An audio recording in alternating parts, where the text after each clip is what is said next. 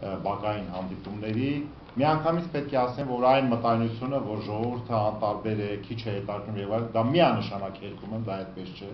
Ժողովուրդը շահագրգիռ, շահառու կողմ է միանշանակ այս ընդրաշավին, սակայն ցավոք սրտի մեր հիմնական խնդիրն էր, որ հավատը, որ ընտրությունների միջոցով մեր հանրապետությունում կարող է իրավիճակ փոխվել եւ իշխանություն փոխվել, ուրեմն դա էր, որ ուրեմն եթե քարոզարշավի առաջի 5-6 օրերի ընթացքում միգուցե այդ ընկալումը մի քիչ շատ пассив էր, հավատը ավելի թույլ էր, այսօր կարող եմ ասել, որ արդեն 1 շաբաթ է, որ իսկապես բեկում է եղել այդ խնդրում, որտեղ մենք այդպես չի, որ մենակ գյուղերով են գնացել բան։ Ես երեգել եմ եղել, նախորդ օրը Գառնիում ենք եղել, Կամարից գյուղում ենք եղել, Այսինքն այդ էներգետիկան ես ըստ էության փոխվել եմ։ Ա իհարկե կան նաև շատ անձնավորված մարդիկ կան, որ հավատ կան մարդկավոր ընդհանրապես որևէ բան նկատմամբ հավատ չունի, բայց իհարկե մեր խնդիրն է, որպեսզի մենք մեր ծրագրերի իրատեսական լինելը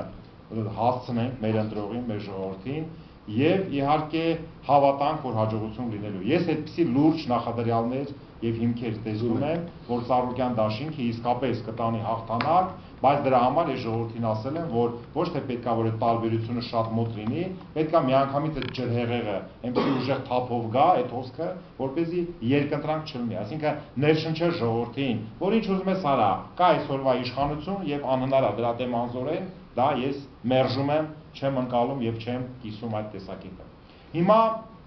միջև անցնելը մեր արդեն ոչ թե 15 կետերին, այլ դրանից բխող մի քանի առանցքային խնդիրներին, ես ուզում եմ, քանի որ վերջին օրերին հերոստատեսությամբ եւ տարբեր ԶԼՄ-ներով տեսնում եմ, որ այնուամենայնիվ շատ հերոստամեկնաբաններ, տարբեր լրագրողներ, այսպես համառությամբ, անդուր համառությամբ, ուղղակի հարցը հնչեցնելու համար մի քանի հարցեր են, որ այսպես շրջանառում են։ Առաջինը դա այն է, թե ինչու եք դուք կൂട്ടակայինին հիմա դեմ, կենսաթոշակային կൂട്ടակային համակարգին, բայց դուք քվեարկել եք ժամանակի 2010 թվականի կողմ եւ հետո դեմ եք։ Միանշանակ երկում եմ, սա արդեն որևէ անգամ եմ ասում, խնդրում եմ ուշադրություն, հարգարժան ընդդիմախոսներ, հարգարժան լրագրողներ, հարգարժան մեկնաբաններ տարբեր բնույթի 2010 թվականին Բարգավաճ Հայաստան խմբակցությունը կողմ եք հվիարկել մի միայն կուտակայինի կամավոր բաղադրիչին, այսինքն մենք կողմ ենք եղել կամավոր կենսաթոշակային կուտակային համակարգին, ընդ որում, ընդ որում կարող է հարց առաջանալ, բա ինչու 2010 թվականին քվեարկված օրենսդրական նախաձեռնությունը ուժի մեջ մտավ 2014 թվականից, որովհետև այն ժամանակ էլ մենք ասում էինք, որ քանի որ 2009-ը խիստ ճգնաժամային տարի էր, ասում էինք, որ այս վատ իրավիճակում, երբ որ սոցիալական ուրեմն մակարդակը, սոցիալական ցուցանիշները գահավիժել էին ներքև, թողենք ժամանակ տանք, թող մի քիչ իրավիճակը շտկվի, մի քիչ կայունանա, նոր դա կիրառվի։ Ցավոք սրտի միջև 2014 թվականը մենք չունեցանք իրավիճակի կայունացում, հակառակը ունեցանք ապակայունացում սոցիալ-տնտեսական իմաստով եւ պատահական չէ, որ 13 թվականի վերջին եւ 14 թվականին Բարգավաճ Հայաստան կուսակցությունը եւ համանուն խմբակցությունը երկու անգամ դիմեց քարյակի շրջանակներում սահմանադրական դատարան վիճարկելու կൂട്ടակայինի հետ կապված անհամապատասխանությունը գործող սահմանադրությանը։ Սա փաստ է։ Ես սա ասեցի եւ խնդրում եմ իլուր, որպեսզի մեր բոլոր ընդդիմախոսները ընկալեն։ Մենք քվեարկել ենք, դա ուրեմն օրենքի համապատասխան հոդվածն է, անցումային դրույթներ։ Կարող եք վերցնել 2010 թվականի օրենքի նախագիծը ուրեմն աչքի անցկացնել։ Սա մեկ։ Երկրորդը, նորից ես վերջի 1-2 օրերի ընթացքում ուրեմն նկատում եմ համառություն, ճիշտ ասած տես չի, որ իմ դուրը չի գալի այդ համառությունը, որ վերջին հաշվով թոշակը եւ աշխատավարձը նվազագույն։ Ոնց ենք բարձրացնելու։ Ես առաջին անգամ եկել եմ համապատասխան մի երկու ուրեմն պաշտոնական փաստաթուղթ եմ բերել ինձ հետ։ Հիմա ես շատ կոնկրետ եմ ասելու, աղբյուրի մասին ասել եմ, բայց շատ կոնկրետ նորից չեմ խորշում թվերով ասեմ։ Ուրեմն մենք ասել ենք նախ թիվը Պետք է իմանալ, երբ որ ասում ենք բարձրացում օրինակ թոշակի, ինչի մասն է խոսքը։ Հայաստանում կա երկու թոշակային մակարդակ։ Մեկը դա բազային կենսաթոշակն է, 16000 դրամ, եւ հետո թոշակը ձևավորվում է դրան գումարելով տարեկան ստաժը։ Ամեն տարվա համար որոշակի գումար, մի քանի 100 դրամ է։ Եվ գալիս է միջին, բազային, միջին, ոչ թե բազային, միջին կենսաթոշակը 41000 դրամ։ Մենք ասում ենք, որ մենք գումարելու ենք 25000 դրամ, ընդունենք մոտավոր 40800 քանի դրամ եւ ստանալու ենք ասենք 65000 դրամ։ Սա է մեր բարձրացումը։ Այսինքն 460000 թոշակառուն բազապատկում են 25000 դրամով, ստանում ենք մոտ 10.5 միլիարդ դրամ, ուրեմն տարեկան։ Ուրեմն հիմա չեմ ուզում նորից ասեմ տարեկան ինչքան է եւ այլն, եւ այլ եւ այլն։ Հիմա տեսեք, հիմնական մեր աղբյուրը, որը նաև շահկապելու է մեր քաղաքականության հետ Սարուկյան դաշինքի, եթե մենք կազմենք կառավարություն, հետեւյալն է լինելու, որ ասել են,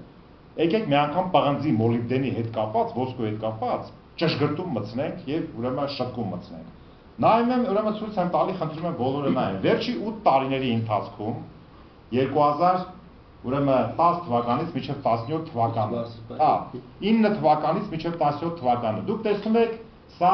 միջազգային բորսաներում պղնձի միջին տարեկան գներն են։ Պղնձի, մաքուր պղնձի լոնդոնյան բորսայում որը գնանշում է, կատիրովկա ռուսերեն, որը հայտնի պաշտոնական բան է։ Միայն 2009 թվականին է, որի չլա 3222.9 դոլար, մնացած բոլոր տարիներին ես կարդում եմ։ Ուրեմն 10 թվականին 7370 դոլար, 11 թվականին 9581 դոլար, 2012 թվականին 8101 դոլար, 2013 թվականին 8110 դոլար, 2014 թվականին 7320, 2015-ին 5795, 2016-ին 4443 եւ 17-ի այս հատվածում 5795 դոլար։ Միջինը, միջինը այս տարիների ու տարիների